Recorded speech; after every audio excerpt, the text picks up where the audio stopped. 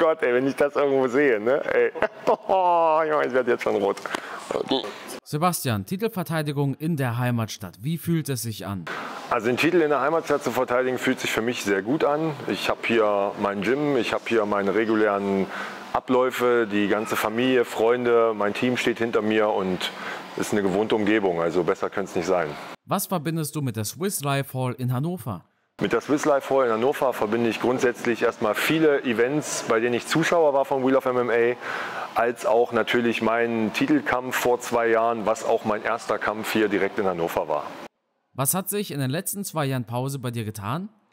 In den letzten zwei Jahren Pause, muss ich sagen, war der Fokus wirklich stark aufs Training und ich würde sagen, ich bin definitiv besser geworden und konnte die Zeit gut nutzen. Wie sieht deine Vorbereitung aus?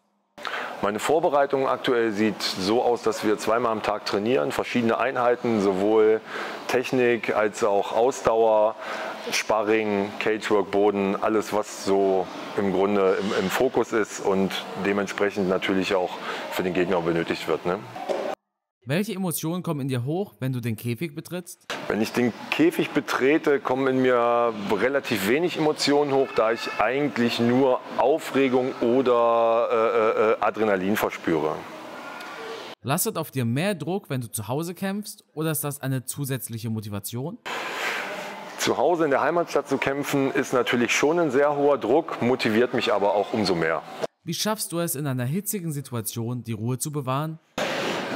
Ähm, in einer hitzigen Situation die Ruhe zu bewahren, ist für mich eigentlich selbstverständlich, da ich mich überhaupt nicht darauf einlassen möchte, zu überpacen, zu überdrehen oder auch den Fokus zu verlieren.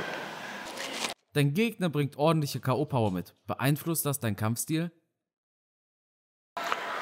Dass mein Gegner ordentliche K.O.-Power mitbringt, tangiert mich nicht, beeinflusst auch nicht meinen Kampfstil. Ich gehe gut vorbereitet und fokussiert in den Kampf, wie in jeden anderen Kampf auch. Worin siehst du deine größten Stärken, sowohl im Cage als auch mental? Meine größten Stärken im Cage und mental sehe ich tatsächlich auch in meiner mentalen Verfassung. Und ich muss auch ganz klar sagen, der Cage an sich ist für mich auch einfach wie nach Hause kommen. Kann man das so sagen? Ja, also das ist richtig. Ist ja so. Viele Profis sagen, Kämpfe werden im Kopf gewonnen. Stimmt das? Also, dass die Kämpfe bei Profis im Kopf gewonnen werden, kann ich auch bestätigen. Das ähm, hat für mich einfach auch damit zu tun, den Fokus nicht zu verlieren und auch in seinem Tunnel immer trotzdem nach links und rechts zu schauen. Und ähm, natürlich auch bedingt durch mein Körpergewicht und die dementsprechende Gewichtsklasse ist irgendwann auch, muss man so sagen, konditionell ein Limit erreicht und dann entscheidet wirklich der Kopf. Deine Botschaft an die Fans in Hannover?